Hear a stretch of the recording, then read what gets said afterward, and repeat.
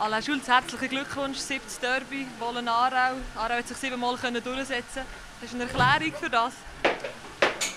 Ja, ich denke, dass wir auch heute ähm, nach einem äh, frühen Rückstand nicht äh, die Ruhe verloren haben, sondern äh, ruhig weitergespielt haben, äh, nach vorne und auch dominant auftreten sind und das Spiel noch vor der Pause haben können in die entscheidende Bahn lenken.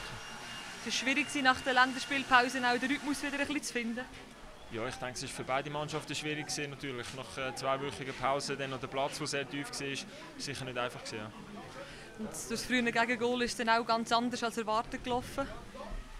Ja, das ist so. Wir haben natürlich nicht in den Rückstand gehen, das ist klar. Aber es ist auch nicht das erste Mal in dieser Saison, wo wir in den Rückstand gehen und wo wir das Spiel noch gedreht haben. Von dem her wichtig ist, dass wir ruhig geblieben sind. Warum hast du das Gefühl, hat man so lange noch müssen zittern um einen Sieg?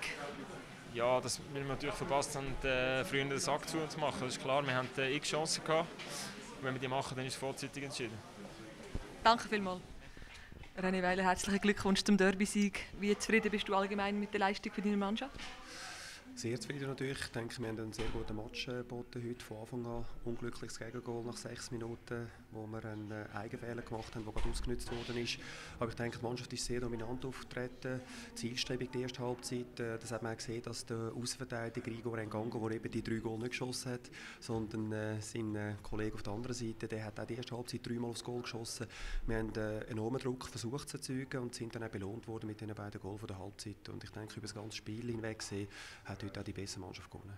Du sprichst gegen Goal an. Inwiefern hat das eure taktischen Überlegungen über den Haufen geworfen? Eigentlich überhaupt nicht. Das hat man ja dann auch gesehen. Wir haben genau gleich weitergespielt, aber es ist natürlich nicht so, wie man sich das äh, erwünscht. Aber das gehört auch zum Fußball dazu und ich denke, die Mannschaft hat sehr gut reagiert. Aber es wäre natürlich schon wollen, wenn wir zwischendurch gerade so gröbere Eigenfälle würden vermeiden. Hast du das Gefühl, hat am Schluss der Unterschied ausgemacht, dass es eben gleich 3-1 geendet hat?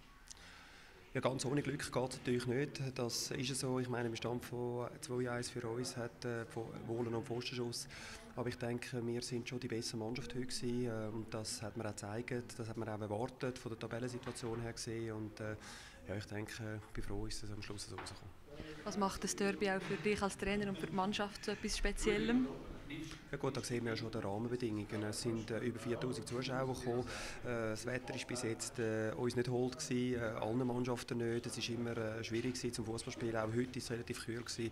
Und das war doch ein Anlass, der wo, wo Freude macht, äh, um da auch äh, Teile haben können. Und äh, von dem her gesehen ist es schön, wenn so viele Zuschauer dabei sind. Und es ist ein unterhaltsam und am Schluss natürlich äh, für uns ein positiver Match. Danke vielmals.